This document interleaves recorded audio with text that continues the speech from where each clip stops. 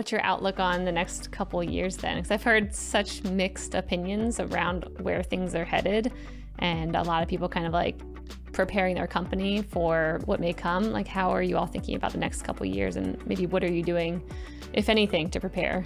two things. One, we made a commitment that in terms of the capital that we raised, it would be the last penny we will ever raise. So that's how we're operating the business. That's number one.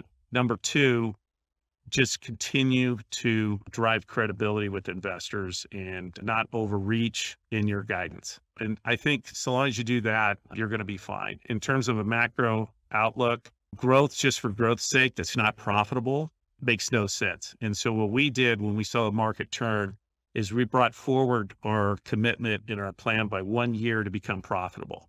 When we went public, we told institutions that we would not be profitable till 2024. And when we saw that market turn, Stephanie, we were like, okay, all right, it's a it's a new it's a new day. And so on our last call, we we said we would uh, be adjusted EBITDA profitable in Q4 this year. What were the adjustments yeah. you made to become profitable? Because I'm sure people listening are like, yeah, Bryan, I want to become profitable within a year too. Like, what did you do behind the scenes to accelerate that? You know, you start saying no to some growth opportunities that are just there to growth that don't have the margin profile that you need. You back off your longer term investments with regard to marketing. You don't build SG&A ahead of revenue. If you think you've got a year of runway, you better plan for three years. I'm not saying it's going to take three years to turn around, but it's all about runway. The folks that aren't going to accept that, or the folks that don't accept the new valuations of their businesses, okay, or may not be around a year from now. And I see people out there trying to raise money right now who have to raise money that refuse to accept the new valuations. They just aren't willing to accept the possibility that their business may not be here a year from now. You need to really start thinking along those lines in those terms. A lot of people said inflation was transitory. Well, now listen to those same people talk today. Right now, just keep your head down and grind. And that's what we're doing. I guess I'd summarize it by saying, look at the current state and deal with it. I was operating in 2008 2009 when the banks just shut down lending. That was very informative for me. Right now, you're seeing company valuations get slashed. You've got to accept that current reality. Those who survive this are going to become bigger and better companies. You know, the companies that were started in 08, 09 in the tech side are the ones that are some of the best technology companies today because those disciplines were put in place early on.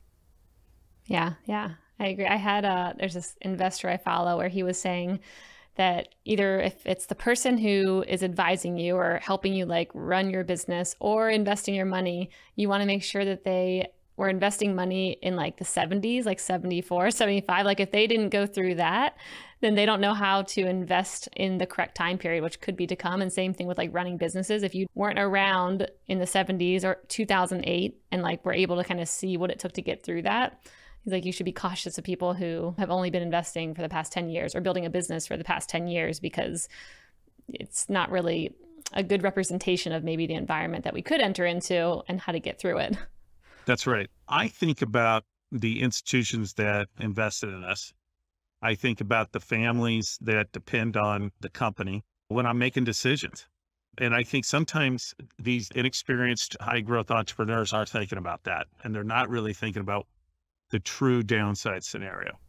When it comes to like the food industry, I mean, from the outside looking in, it looks like your guys' margins are great, like compared to what I've seen other food industries having. But you tell me, like, what do you think is a good average margin to have for a company? I think I saw yours was maybe like 18% ish or yeah. so. Our long term goal is to be at 35% gross margins. And the path for us to get there is through the opening of this new facility outside of Chicago and Bolingbrook.